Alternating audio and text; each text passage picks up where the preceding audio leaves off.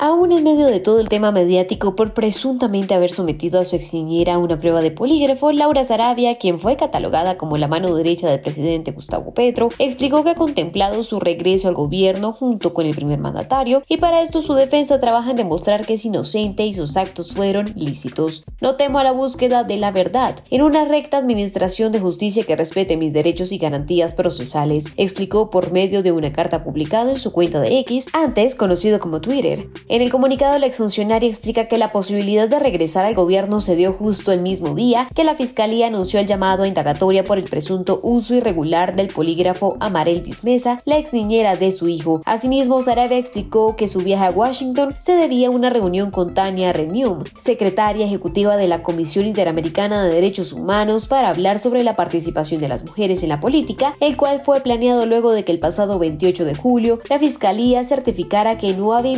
en su contra. También comentó que el pasado 18 de agosto, cuando se conoció la opción de retomar su tarea en el gobierno, la Fiscalía comunicó la novedad procesal de escuchar su versión, por lo cual fue citada a dar su declaración. En todo ese contexto y con el proceso en Fiscalía activo, Sarabia aseguró que se defenderá y responderá de manera debida, ya que fue una acción voluntaria al rendir declaratoria, la cual fue reprogramada para el próximo 5 de septiembre. Hoy reitero que atenderé las diligencias necesarias para explicar la licitud de mis actos y defender la inocencia de mi conducta, afirmó Sarabia. Cinco meses después de que se diera a conocer este escándalo, los fiscales encargados del caso recopilaron suficiente evidencia física y material probatorio para poder llamar a una indagatoria a Laura Sarabia e hicieron énfasis en que tendrá que presentarse con su representante como afirma el documento de la Fiscalía. En el desarrollo del proceso se ha recolectado evidencia física, material probatorio, se han realizado interrogatorios y recibido testimonios. En consecuencia, fiscales a cargo de la investigación han dispuesto citar interrogatorio de indiciado a Laura Camila Sarabia Torres. Por esos hechos también se llamó interrogatorio al coronel Carlos Feria, encargado de la seguridad en la Casa de Nariño.